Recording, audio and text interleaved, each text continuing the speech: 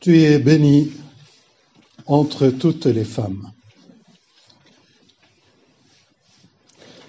Révérend Père, Jacques et Père Dédé, chers frères et sœurs, comblés de grâce. Oui, comblés de grâce, pourquoi? Parce que comme Marie, comme Élisabeth, nous avons l'Esprit Saint, nous l'avons reçu par le baptême, et donc nous sommes comblés de grâce. Bienvenue à l'association Var Ensemble, qui a fait ce pas très courageuse de célébrer dans une autre langue, dans une autre culture. J'espère que vous allez pouvoir apprécier cette célébration. Dans notre célébration, vous avez entendu déjà peut-être trois langues, mais vous n'avez pas fait la différence entre le français, peut-être, et l'arabe, oui, mais entre l'arabe et le syriaque, vous n'avez pas vu de différence. Sachez que dans notre liturgie, en tant que maronite, nous avons la langue syriaque qui est la cousine de la langue de Jésus-Christ. Donc on est très proche de ce que Jésus prononçait. Et ça se verrait dans la scène.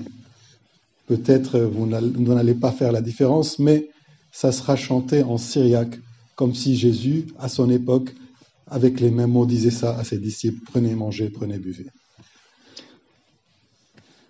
Et dans notre liturgie maronite, vous avez peut-être aussi remarqué que nous ne sommes pas au premier dimanche de l'Avent.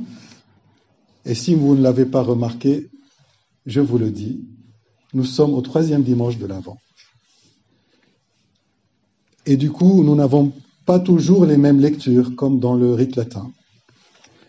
Et aujourd'hui, nous méditons ce passage de la visitation. Dimanche dernier, nous avons pris le passage de l'Annonciation et celui d'avant, donc le premier dimanche de l'Avent, nous avons pris l'Annonciation à Zacharie. Donc il y a eu l'Annonciation à Zacharie, puis à Marie, et là c'est la visitation. Et nous allons progresser petit à petit jusqu'à Noël dans nos lectures. Et Saint Luc nous accompagne dans ces lectures-là.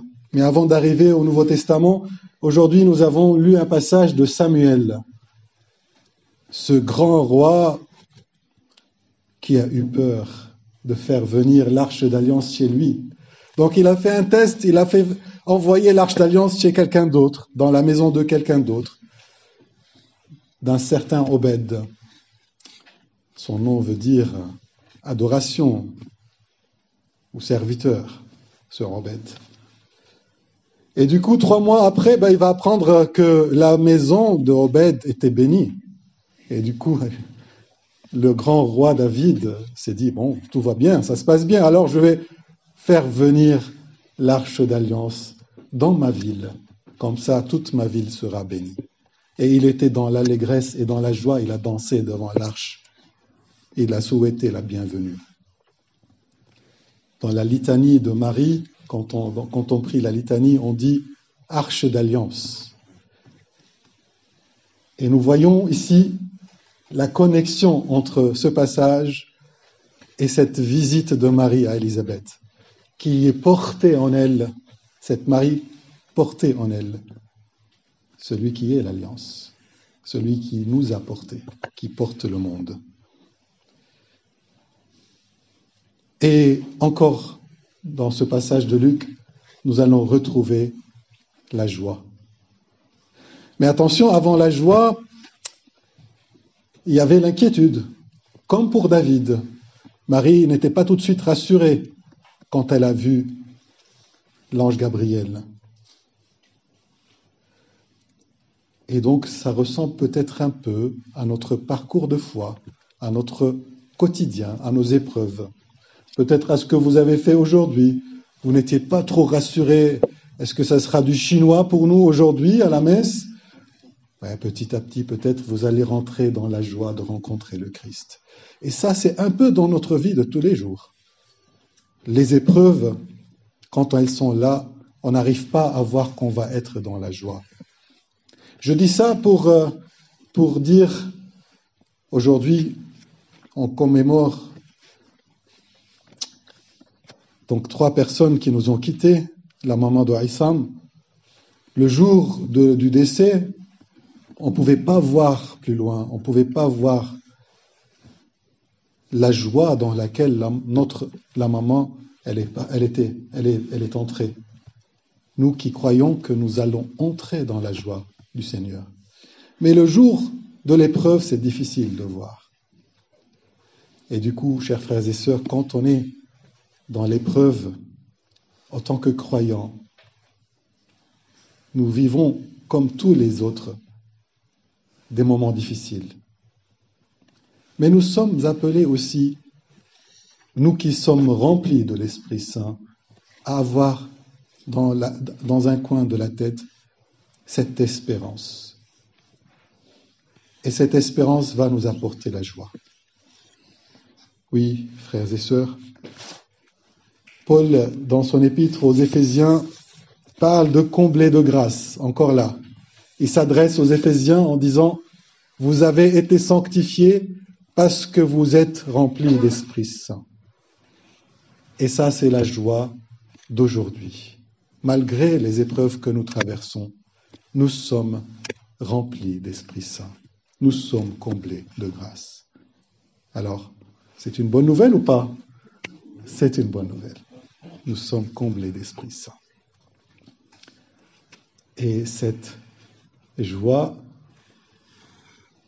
va même dans le ventre d'Élisabeth.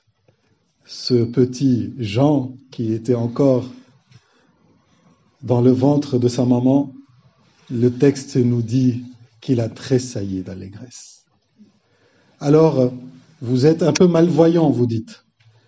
Alors Jean ne voyait pas grand-chose dans le ventre de, de sa maman. Et malgré ça, il a vu l'essentiel. Il a ressenti l'essentiel. Alors oui, les yeux, c'est très utile, mais les yeux du cœur, c'est encore plus utile. Ressentir la présence de l'autre, ressentir la présence de Dieu dans sa vie. Rendons grâce au Seigneur pour la joie dans laquelle il veut nous mettre,